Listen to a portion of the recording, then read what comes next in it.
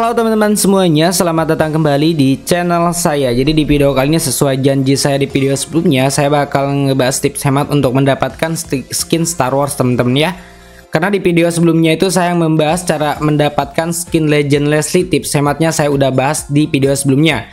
Jadi yang mau mendapatkan skin Leslie silahkan dicek video sebelumnya teman-teman ya. Sebelum kita masuk ke pembahasan dan inti videonya, boleh dong klik tombol subscribe dan nyalakan loncengnya biar kalian tidak ketinggalan info-info terbaru dari channel ini.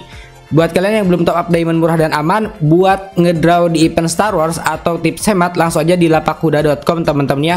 Cek linknya di deskripsi video saya dan begini cara top up diamondnya.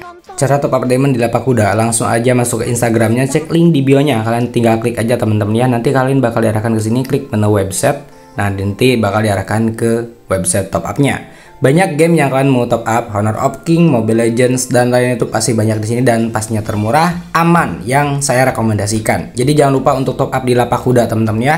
Berikutnya kalian tinggal pilih kalau Mobile Legends ada joki dan lain-lain, pokoknya lengkap lah teman-teman ya. Cara top up diamond Mobile Legends, kalian tinggal masukkan uh, ke Mobile Legendsnya, klik di situ masukkan game ID, server, nama WhatsApp. Berikutnya klik weekly diamond pass, itu harganya cuma 25 ribuan saja. Jangan lupa untuk masukkan kode Eidura ya teman-teman ya di bawah masukkan kode Eidura untuk mendapatkan promo pastinya. Kode promonya Eidura, berikutnya tinggal pilih pembayaran dan di bawah langsung konfirmasi pesanan. Itu diamondnya otomatis masuk dalam hitungan detik. Top up di lapak kuda. Cek link di deskripsi video saya. Oke teman-teman, jadi untuk satu skin Star Wars itu membutuhkan 700 kris ya teman-teman ya. Namanya apa sih ini? Uh, Galactic Credit ya teman-teman ya kita membutuhkan 700 Galactic Credit. Di sini kalian bebas pilih skin Star Wars mau yang mana nih? Argus, Alucard atau Cyclops dan Kimi ada empat kan. Jadi kita bisa pilih salah satu skin Star Wars-nya. Nanti uh, kalian mau pilih yang mana gitu teman-teman ya. Oke langsung aja kita ngebahas tips hemat untuk mendapatkan skin Star Wars ini.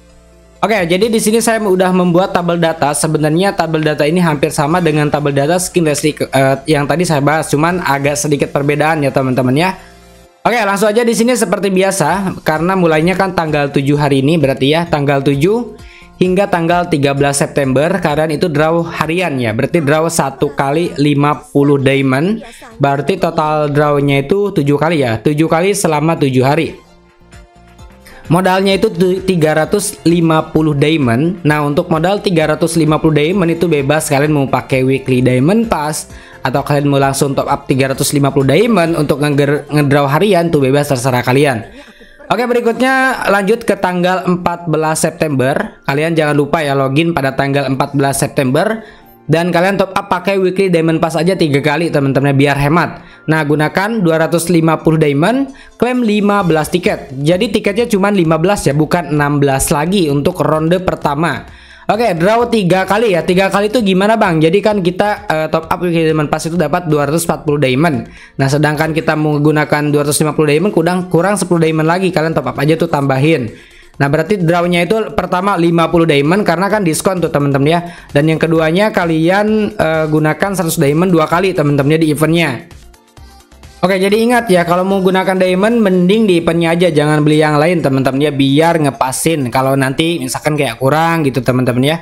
Draw tiga kali totalnya berarti kita udah 10 kali draw dari uh, draw harian hingga kita gunakan 250 diamond berarti kita udah draw 10 kali. Selanjutnya klaim 15 tiket dan langsung kalian drawin aja. Itu 15 kali draw, totalnya udah mencapai di 205 kali draw. Ya di sini kita 250 diamond ya untuk uh, modalnya yaitu modal dari misi top up. Selanjutnya pada tanggal 15 September hingga tanggal 27 September. Draw satu kali uh, satu kali satu kali ya berarti 15 sampai uh, 27 berarti kalau nggak salah 13 hari ya. Jadi 13 atau 14 hari kalian bisa draw aja satu kali 50 diamond itu 13 kali draw. Jadi totalnya kita udah mencapai di 38 kali draw.